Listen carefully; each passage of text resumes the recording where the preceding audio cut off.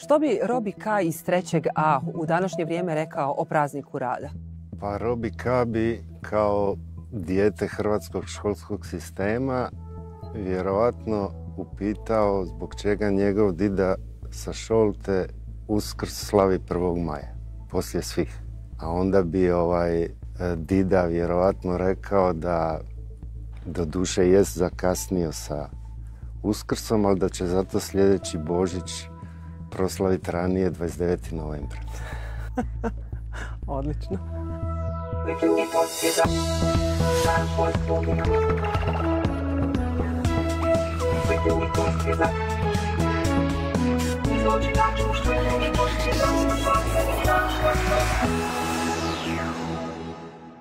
Dobrodošli u još jedan razgovor s razlogom. Ovaj put iz Splita.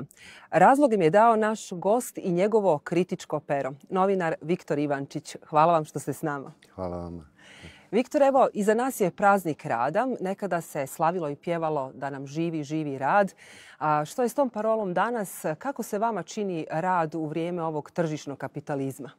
Pa ja nisam baš veliki pobornik rada, pravo da kažem. S obzirom koliko pišete, ne bih to rekla. Pa pišem dosta zato što moram, ali, ali e, e, obično imamo tu, tu kao nametnutu kao odnos prema radu da nam bude onako moralno ispravan. Ali pogotovo u doba tržišnog kapitalizma rad je u stvari neka platforma preko koje se ljudi zarobljavaju, pripitomljuju, discipliniraju.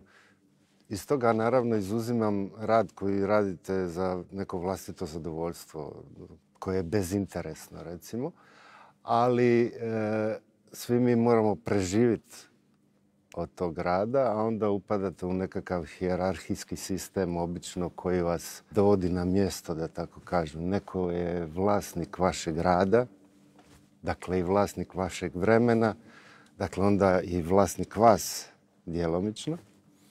Tako da to vidim više kao štetnu pojavu nego kao korisnu, pravo da vam kažem. Ali moram priznati nešto, kad sam ovo spomenula, ovo naše pjevanje nekadašnje i opjevavanje e, rada, nekako se činilo ili barem tako izgledalo da je u to vrijeme e, narod bio pun elana i entuzijazma. Eto, pjevalo se radu, zemlja se obnavljala, izgrađivala.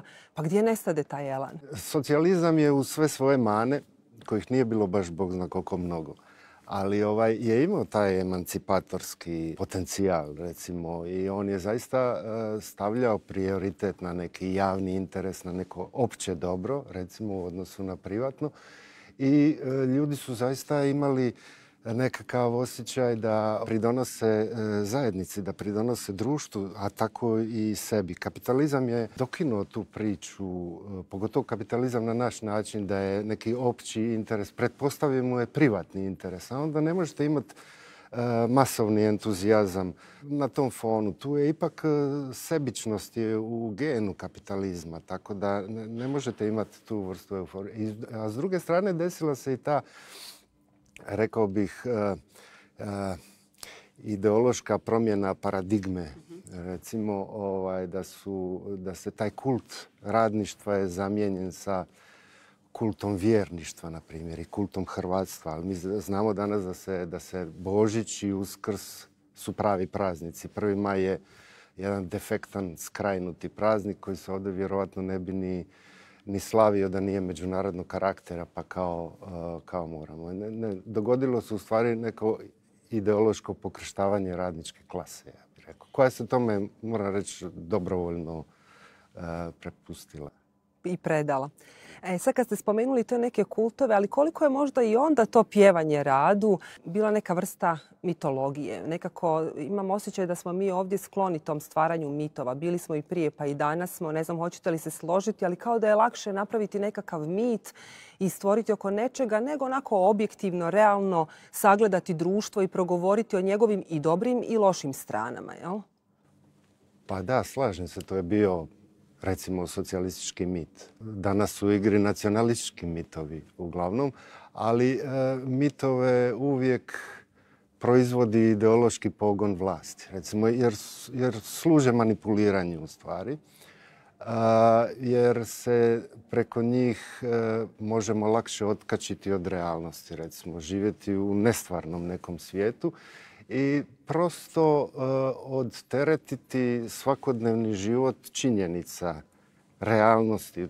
Dakle, da ne kvarimo atmosferu. Tako da je cijeli niz, recimo, nacionalističkih mitova danas, danas u igri. E, oni se uglavnom tiču nacionalne države, nacije, domovinskog rata, i tako dalje, koje nije primjereno sa previše fakata ovaj, narušavati. Mi, možda malo stariji, poput mene, smo u stanju čak promatrati građenje mita u toku naših života. Recimo, prvi hrvatski predsjednik Franjo Tuđman je danas, 2023. godine, sigurno u javnoj percepciji E, mnogo pozitivnija ličnost nego recimo 2003. godine, prije 20 godina. Dakle, ono, naprosto e, smrt mu prija, kako bih rekao. On, što je duže mrtav, to je bolji e, predsjednik i događa se to da se njegove mane u, sve većoj mjeri sakrivaju, njegove se vrline u sve većoj mjeri izmišljaju tako da ovaj, e, na neki način on više nema veze sa čovjekom koji nam je 90. ne znam, zagorčavao živote ili bilo što slično tome. Dakle, imamo priliku promatrati e, putovanje jedne osobe e, od historijske ličnosti u čisti mit. Tome su, ne znam, više razloga, to je vjerojatno jedan je razlog da mi kao volimo izmišljati tu nacionalnu povijest, volimo je uljepšavati, volimo je E, popravljati, učiniti što boljom. A drugi je vjerojatno što e, sam taj e, kult nacionalne države jest jedna svetinja. Pa onda i neko ko je roditelj te države, ko je otac te države, mora biti neka više ličiti svecu nego realnoj ličnosti. Što mislite, zašto su ta nacionalna pitanja i dalje tako važna? I otkud toliki nacionalizam i dalje?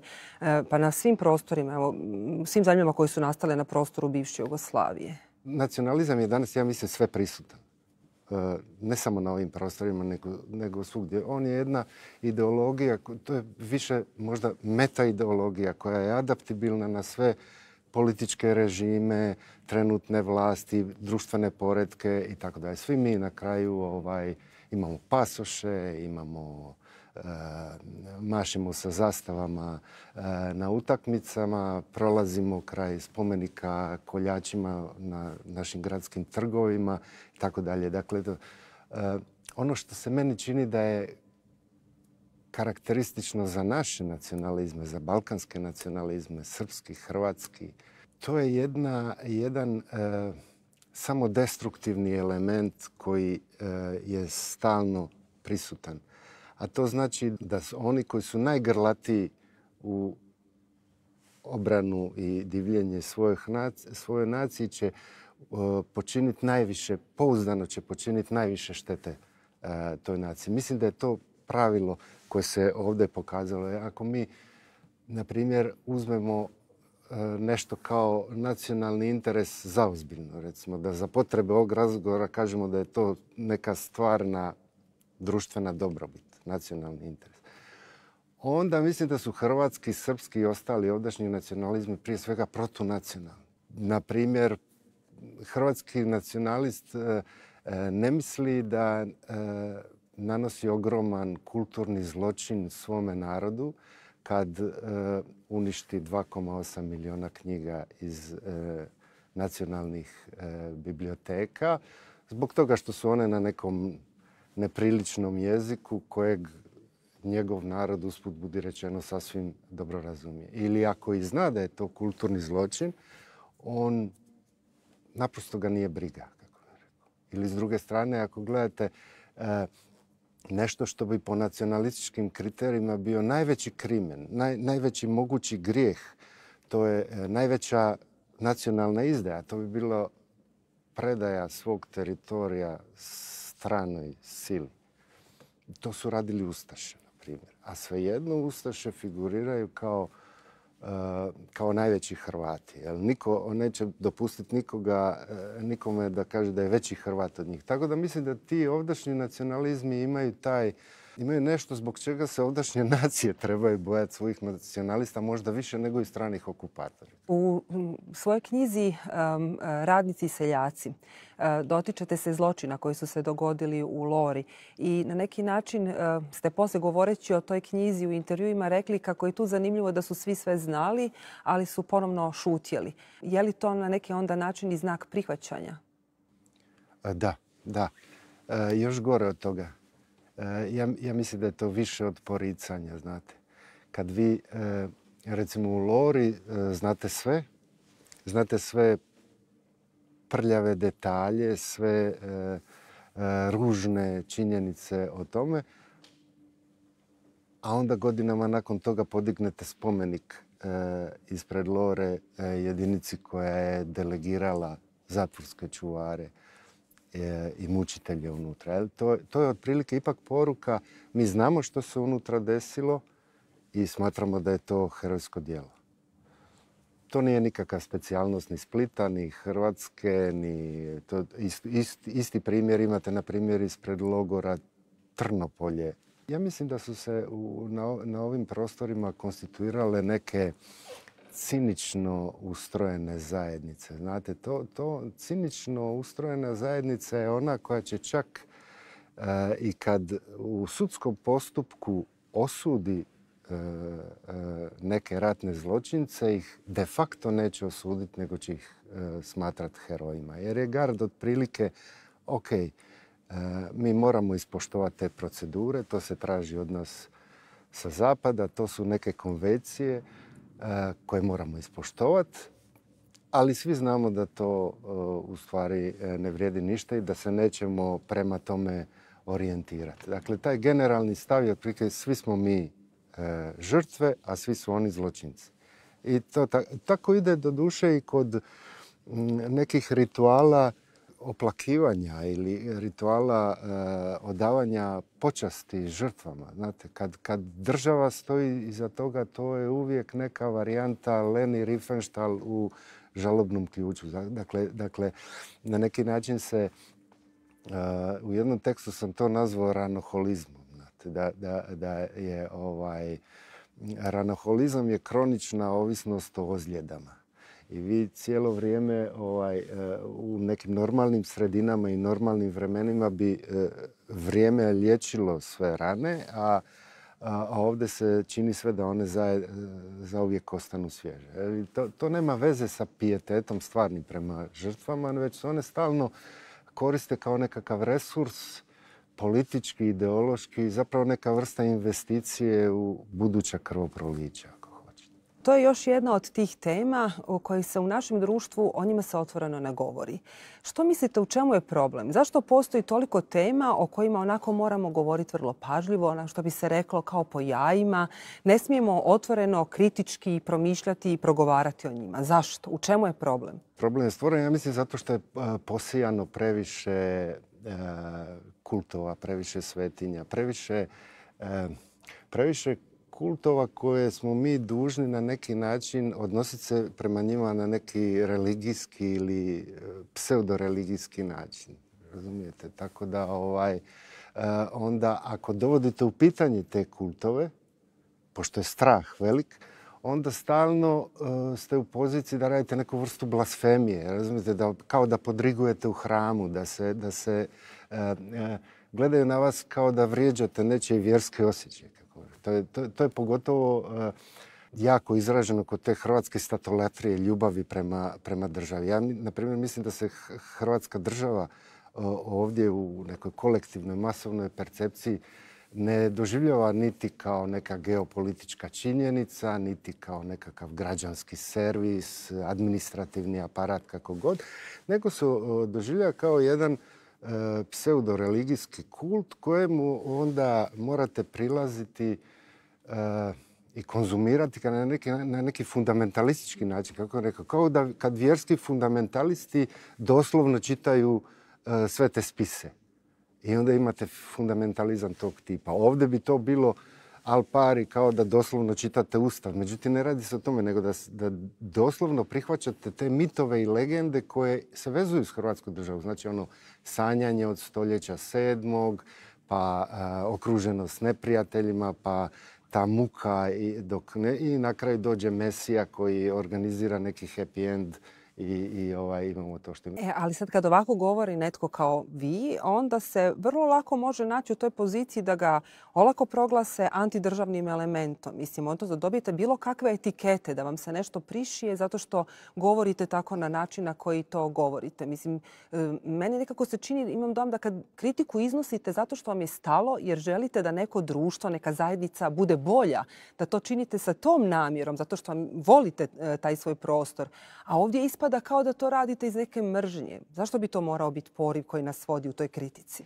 Kad vas proglase državni neprijatelj, u, biti vam hoće začepiti usta. Mislim, hoće, hoće stvoriti društvo monologa, hoće vas delegitimirati za dijalog uh, i tako dalje. Dakle, to je, klasična, to je klasičan manevar protudemokratski, ja bih rekao taj, sad, kad, na tom nacionalističkom polju. Na, na, polju, ne znam, kapitalizma, recimo, e, taj liberalni kapitalizam, on je, on je e, izumio taj način da kritiku na svoj račun ovaj, upregne u svoju korist.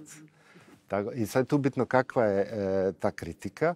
Da li je ona usmjerena na to da popravi postojeći poredak, tada će vjerojatno biti inkorporirana u mainstream i bit će postavljena kao nekakav dekorativni dodatak će biti. Ali ako dovedete u pitanje same temelje tog sistema, vrlo je vjerojatno da će vas e, šutnut na marginu ili gurnut u neku, nekaj vid e, nevidljivosti, ako ne i nešto gore. Jel? Ako danas uzmemo sudbine ljudi kao što su Snowden, Assange, Chelsea Manning, vidimo da i države koje se jako vole kititi sa svojim e, liberalno-demokratskim ovaj, tekovinama e, mogu biti takako totalitarne u, svom iskazu i ne mogu podnijeti istinu, odnosno takvu, takvu vrstu kritike. Tako da, mislim, kritika je zaista bitna. Kako bih rekao, bitna je, bez nje nema ni slobode ni demokracije. Pritom, ni e, napretka u ostalom. Pa i mi u ovom našem poslu volimo neku kritiku kad čujemo nekakvu povratnu informaciju. Tako je, tako je. A obično bude sa te političke razine, obično bude ona onaj prigovor tipa da kritika nije konstruktivna, što je meni, što je meni najkomičnije. Ja u svojih 40 godina se ne sjećam da sam, da sam ikada nešto predložio. Nikad nisam ništa predložio. Ne znam zašto bi kritika uh, bila bila konstruktivna. Ja, od onih svih definicija kritike koje po meni nisu korodirale, toliko je ona ova koji kaže da je to umjeće promišljenje neposlušnosti, znači kao neka ne, nepodlijeganje vladanju recimo ili eseju odbijanju, on kaže. Je li onda i zbog tog razloga vama važno e, pisanje i djelovanje u javnom prostoru i ta kritika koju iznosite? Pa jest. Mislim, malo je patetično, ali jest. Ovaj, ja sam novinar. Ja sam novinar i radim taj posao zato što ga volim. zaista, a neka, ipak je neka osnovna vokacija novinarstva je svjedočiti neku istinu. Sviđala se ona nekome ili ne.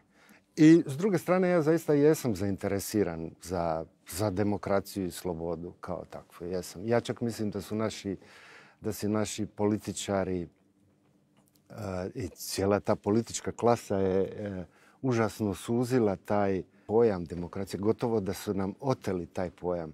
Jer e, mi cijelo vrijeme gledamo defile te klase i moramo biti uvjereni u to da bi demokracija bila parlamentarna demokracija. Dakle, po mom mišljenju ta parlamentarna demokracija je nekakav preduvjet istinske demokracije i to ne nužno najvažniji. A ovdje se tumači kao da je to konačno ispunjenje.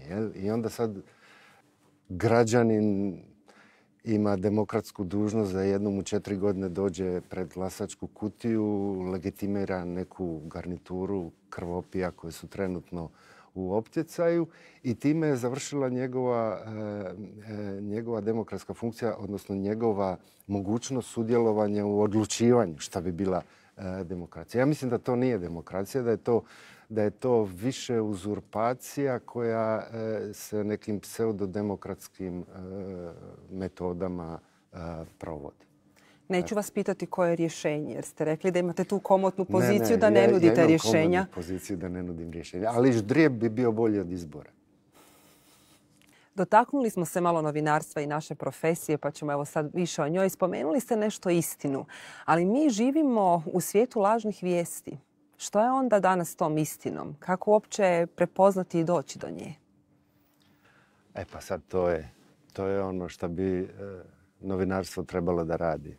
Pravo novinarstvo. To je skoro da, da mora sabotirati sabotirat e, metode rada medijske industrije. Kako bih vam rekao, danas je, došli smo u vrijeme da je, da je skoro profesionalno novinarstvo svačeno na neki tradicionalan način sukobljeno sa, sa, sa, sa medijskom industrijom kao tako, koja vas zasljepljuje oni, oni više ne, informativni mediji danas više ne moraju ni lagat, kako bih rekao, da, da prikriju e, pravo stanje stvari. Mogu vas zasljepljivati informacijama, mogu vas bombardirati sa tim informativnim bespotrebnostima e, toliko da vi ne vidite ono što je važno, šta nije. Ne znam, kad bi, ja mislim kad bi se danas e, štampala neka novina, recimo, nekakav časopis koji bi na dnevnoj bazi donosio tekstove o tome što je važno za naš stvarni svakodnevni život, a što ostale novine ne objavljuju. Pitanje je samo bili bio debel koliko Biblije ili koliko telefonski imenik. Ta vrsta cenzure je danas, rekao bi, e, sve prisutna i, i nastoji se u stvari proizvesti neki pasivni konzument, pasivni e, čitalac. U svom romanu Vita aktiva vi i govorite nešto o tome, na neki način sučeljavate poslušnost i autocenzuru naspram autonomije i slobode. E pa što biste vi rekli kad pogledamo naše medije, koliko je onda danas cenzure, koliko je autocenzure i koliko je onoga što vi nazivate uredničkim sindromom? Što je uopće urednički da, sindrom? To bi bilo ovo pogađanje kad, kad urednici pogađaju E, šta politički patron misli, pa onda se unaprijed e, postavlja tako. On funkcionira kao protočni bojleri, općenito, tako da ne mora, e, više nije potreban direktan politički nalog. Inače, ta razlika između, između autokracija, recimo, ili diktatura i, i liberalno, liberalne demokracije u tome što su diktaturama obično ide politički nalog, a u liberalnim demokracijama obično funkcionira manipulacija. Dakle, da vi stečete dojam da imate mogućnost nekog izbora, a nemate. Međutim, u međuvremenu se desilo to da se naša struka, dakle, naš zanat, se strukturalno previše promijenio. On se toliko promijenio do, do neprepoznatljivosti, ja mislim. Tako da mislim da ozbiljna društvena kritika u buduće vjerovatno neće dolaziti iz novinarskog polja. Nego? Pa dolazit će iz e, raznih drugih platformi, što bi se to danas reklo. Idealno bi bilo, recimo, opet ja sad sa prijedlozima. Evo vidite da ipak niste tako Idealno bi bilo da se novinarstvo shvati kao javno dobro.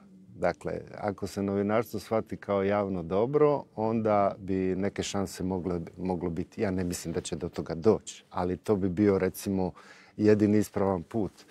Dakle, da se shvati da, je, da svako ima pravo biti istinito i profesionalno informiran. Na isti način kao što prima vodu u stan ili kao što prima struju u stan. Dakle, da novinarstvo e, bude neka vrst javnog dobra. Međutim, u tom slučaju morate imati najprije pristojnu državu, što nemate, imate obratno toga nepristojne države. Pristojna država bi bila ona koja će e, sponzorirati nezavisne medije po cijenu toga da kritiziraju trenutnu vlast. To se e, na ovim prostorima neće desiti. A druga alternativa je slobodno tržište, takozvano liberalno tržište koje, mislim, na njemu novinarska profesija neće opstati. To je jasno. To je, to je, to je jasno čak, mislim, dosta dugo. Odnosno, opstaće mediji, a novinarstvo će se pomalo, pomalo gasiti. Jer vi kao novinar danas, e, pazite, e, vi proizvedete neki proizvod. Ja proizvedem novinski članak, vi proizvedete neku emisiju, ali ovaj, e, ne, ne preživljavamo tog proizvoda, nego od drugog, od marketinga, od oglasa, koji je e, nije samo drugi proizvod, nego je proizvod koji je sukubljen u ovome. Kad vi objavite oglas, to znači da vam neko plati da ga hvalite. Ja radim sasvim drugo u svom članku. Dakle, slobodno tržište naprosto iluzija je da ono može opstati na, na e, e, novinarstvo može opstati na slobodnom tržištu, pogotovo u zemljama koje su veličine dnevnog boravka, kao naše mali jezik. Vi cijelo medijsko tržište u Hrvatskoj možete disciplinirati sa dva, tri dobro odmjerena udarca, recimo. Jel zato mislite da je onda novinarstvo poražena profesija? Ja možda govorim ovaj, e, razočarano, ali nisam onaj koji rezignira, kako bi rekao. Ja, ja, ja vjerujem u marginu, ja vjerujem i u tu profesiju, bez obzira koliko... mislim da količina klikova, čitanosti nije, nije vjerodostojna. Znate, publika danas ima ironijski odnos prema sadržajima koje pratim. To, to nije vjerodostojan odnos. oni kažu daj da vidimo šta novine danas e, lažu, recimo, ili tako. Jel mislite onda da i vi radite na margini? Ja radim na margini manje više cijelo vrijeme. Ja, mislim, e, radim u malom mediju i tako. I nema protiv toga ništa. Mislim, to je dobro. Pod uvjetom da možete tu preživjeti. Dakle, tu je ta, ta kvaka za profesiju. Vi danas imate e, dosta mjesta da slobodno kažete šta god mislite šta hoćete, ali mi smo neki profesionalci koji od toga žive, dakle moram, moram preživjeti od toga. Dakle, pod uvjetom da na toj margini e, preživite, tu se može e, dosta toga napraviti. Ja ne spadam u one koji misle da mainstream medije, da korporativne medije treba popravljati ja bih granatirao da me se pita. Ja, to, to je stvar koju treba E, rušiti, štetiti tome, uništavati e, e, što više, jer neće se popraviti. Neće se popraviti. Premda tu ima sjajnih novinara. Dakle, ne govorim o tome, govorim o konceptu, znači ne, ne o pojedincima u njemu. Ovaj, ali s margine se može što što napraviti. Što je za vas uopće novinarstvo? Vjerovatno poziv, opet sam patetičan, ali vjerovatno je poziv. Ovaj, nije mi to, nikad ja nisam novinarstvo ipak uzimao kao posao koji ću odraditi i od toga ću preživjeti. To je, to je, to je činjenica. Za mene je to vid otpora. Uvijek sam novinarstvo koristio kao vid mog otpora i, i način da uspostavim distancu između sebe i stvarnosti koja me okružuje i sredine koja me okružuje. A zašto vam je taj otpor važan? Pa ja mislim da, da, je, da je to dobro najprije higijensko i sasvim sebičnih razloga, a druga stvar, ja mislim da je jedino da, da, da to protuvećinsko mišljenje je obično ispravno. Obično ispravno. ovaj, mislim da, da općenito na ovim prostorima su jedine šanse u manjinskom mišljenju. Bez obzira kako ono bilo, e, da tu ima e, jedino šanse onda vas vjerojatno ni ne, smeta ta pozicija, možda često i nesvaćenog, odnosno da se krivo može protumačiti ono što ste napisali, ta vaša kritika. Vjerojatno ima onih koji to ne, shvate baš na najbolji mogući način. Da. Pa onda se vjerojatno s tim ipak možete nositi. Nije vam da, to... Da, da, Uvijek sam se mogao s tim nositi. To meni ne, ja, ja, ja, nisam ovaj... E, nisam nikad pisao zato da se udvorim što većoj količini. A pogotovo što idem stariji, što ide, čovjek što ide stariji nekako teži da ima što manje čitalaca, ali da su što kvalitetniji recimo u njegovim očima. Ovaj, e, tako da ne, nisu mislim etikete i, i, ti, ti, napadi, oni znaju biti nezgodni, iskreno rečeno, pogotovo u nekim mračnim, e, mračnim vremenima. E, međutim, zato šta, mislim, prvo čovjek se na to, ono, više, više to svjedoči nekom društvenom trenutku i nekoj političkoj vlasti koja trenutno to generira, nego o vašoj kritici toga. I druga stvar, čovjek se malo i navikne, znate, o, o, i tako uzima to kao, kao dio posla i gotova stvar. U jednom ste razgovoru e, rekli da vam je možda nakon oluje u Feralu bilo najteže pisati, iznositi kritiku od nekih postupaka i događaja. A kako je danas? Što biste rekli? Kako vam je danas to pisati? Je li lakše ili teže?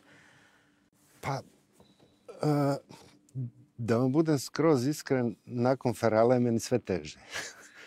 Mislim, ja čak, mi smo bili stvarno izloženi raznim varijantama e, pritisaka i to. Međutim, ja taj period uopće ne pamtim kao neku traumu. ti je traumatičan. To je bio tako fenomenalan rad te ekipe i tako jedan kreativni, ovaj, da, da je meni to super. Tako da sve poslije toga je neka vrsta invaliditeta, recimo, intelektualnog i tako. E, naravno da čovjek nije zadovoljan onim šta se, šta se dešava u društvu i tako. Međutim, ja ipak sam dovoljno skeptičan, ironičan i tako da nisam očekivao da će e, moji tekstovi imati nekakav takav društveni impakt da će e, promijeniti stvari, a kamoli i ole bitno promijeniti stvari. Kad sad malo ovako pogledate na sve to skupa, je li ta kritika imala smisla? Što biste rekli? Jest i nije. Mislim, e, nije utoliko što, što ovaj, što kažem, nemate osjećaj da se stvari popravljaju. Prema tome ona nije efektivna, tako kažem. Bačena je kroz prozor, recimo koper kroz prozor ali s druge strane imalo i takako smisla. Mislim, zato prvo radi, radi tebe, drugo, drugo ipak je važno da, da kritički glasovi postoje, jer, jer mi smo naučili na ovim prostorima da se brzo mrak spusti. Dakle, važno je da postoji e, u društvu mogućnost da se slobodno govori. Užasno je važno. Tako da u tom smislu jeste, ima, ima stvarno smisla i nikad ne znate kad ćete nekog mladog otrovati sa svojim, ovaj, sa svojim tekstom ili nekome pomoći ili nekom otvoriti oči. Tako, ja ne mislim da su to velika postignuća, ali su, ovaj, ali mislim da je to bitno. E pa onda se radujemo novim kritičkim tekstovima i samo vi nastavite to perje bacati kroz prozor. Viktore, najljepša hvala što ste bili gost razgovora s razlogom. Hvala vama. Hvala i vama, dragi gledatelji. Do novog susreta. Doviđenja.